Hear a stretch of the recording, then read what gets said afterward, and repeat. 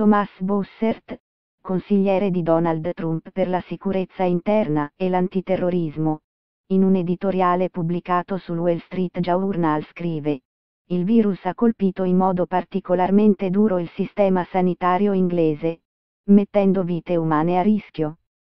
È la Corea del Nord la responsabile del cyberattacco Vannacry, che lo scorso maggio ha paralizzato il mondo, infettando oltre 300.000 computer in 150 paesi.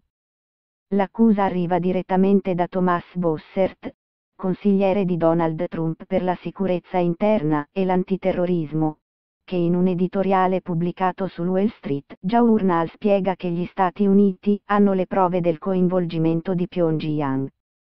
Non siamo gli unici a sostenere la responsabilità del regime coreano, spiega Bossert.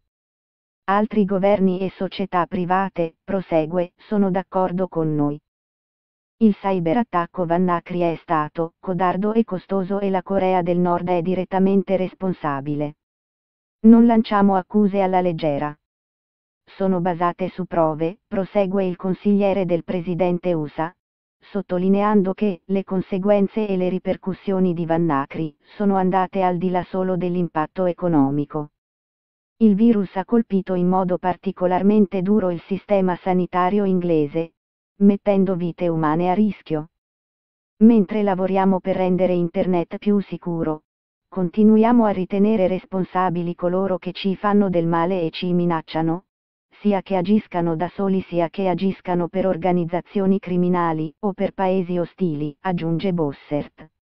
Gli hacker maligni appartengono al carcere, e i governi totali devono pagare un prezzo per le loro azioni. E per il consigliere della Casa Bianca la Corea del Nord continua a minacciare l'America, l'Europa e il resto del mondo non solo con le sue aspirazioni nucleari sta usando sempre più i cyberattacchi per alimentare il suo comportamento e causare distruzioni.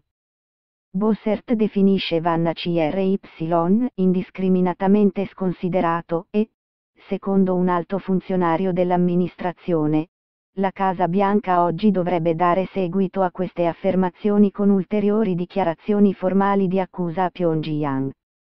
La fonte, coperta dall'anonimato, spiega che il governo USA ha accertato con un livello molto alto di sicurezza che un gruppo di hacker noto come la Lazarus Group, che lavora per conto del governo della Corea del Nord, ha compiuto l'attacco Vanna CRY.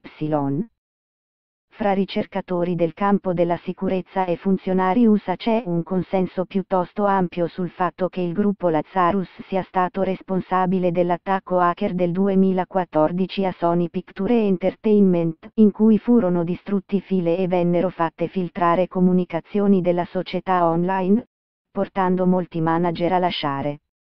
Non è stato possibile raggiungere rappresentanti del governo nordcoreano per un commento, ma Pyongyang ha ripetutamente negato ogni responsabilità per Vanna CRY, definendo altre accuse di attacchi informatici una campagna diffamatoria. Le accuse di Washington, spiega la fonte, non includono alcuna indagine ufficiale, ne nominano individui specifici. Diversi ricercatori del campo della sicurezza, compresa la società informatica Symantec, come pure il governo britannico, avevano già concluso che la Corea del Nord era, probabilmente, dietro all'attacco Vanna CRY, che mise fuori uso anche i computer usati negli ospedali del Regno Unito, costringendo migliaia di pazienti a riprogrammare appuntamenti, e portò disagi in infrastrutture e aziende di tutto il mondo.